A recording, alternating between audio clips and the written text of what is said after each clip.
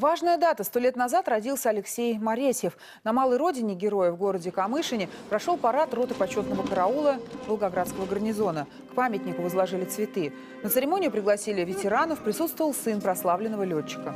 В честь Алексея Моресьева провели авиашоу. Пилоты показали зрителям приемы воздушного боя.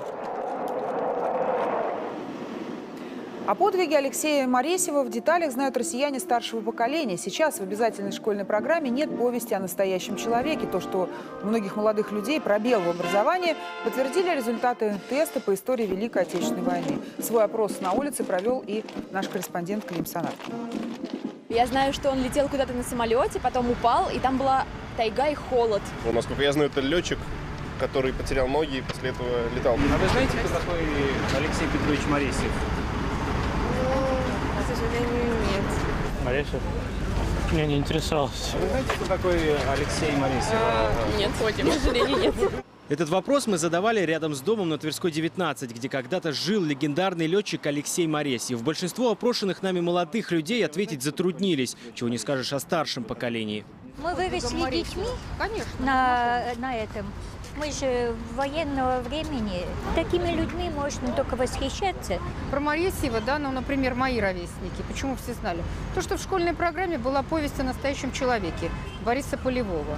Результаты проведенного недавно всероссийского теста по истории Великой Отечественной войны показали, далеко не все знают, кто является прототипом героя повести о настоящем человеке. К сожалению, всего 32% ответили правильно, указали фамилию Моресьева, летчика. И, конечно же, большая часть это были люди старшего поколения. Мы молодежным парламентом э, целиком полностью поддерживаем инициативу возвращения повести в школьную программу. Советские школьники в обязательном порядке изучали произведения Полевого в пятом классе. Теперь же последнее слово за преподавателями. Какие из утвержденных книг о войне изучать на уроках, а какие рекомендовать к прочтению. На сегодняшний день изменился принцип формирования школьного содержания. Он определяется основной образовательной программой, которую разрабатывает школа самостоятельно. Составляя рабочую программу учебного предмета, учитель сам может включить это произведение. Вся жизнь – отчаянная борьба. Истребитель 25-летнего летчика был подбит в 42 году в районе Старой Русы. Раненый Моресьев 18 суток ползком пробирался к линии фронта, к своим. История удивительной силы и мужества. Ампутация голени обеих ног, месяцы, потраченные на восстановление, первые шаги на протезах и одна мечта – снова вернуться в небо.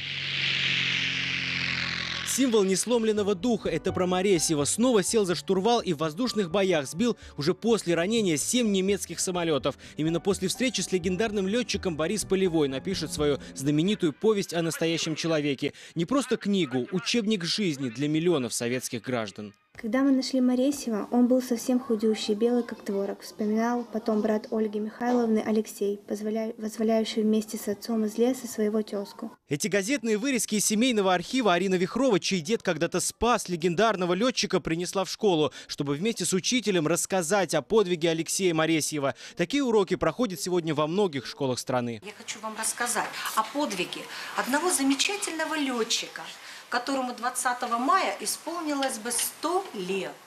Именем Моресьева названы улицы, школы и даже планета. Его история – символ Великой Победы, который будет жить, пока жива память о герое Советского Союза. Ну, кто же его не знает?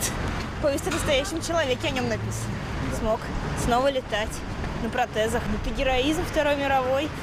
Клим Санаткин, Юрий Шолмов, Елена Пищ, Елена Штоколова и Алексей Козлов. Первый канал.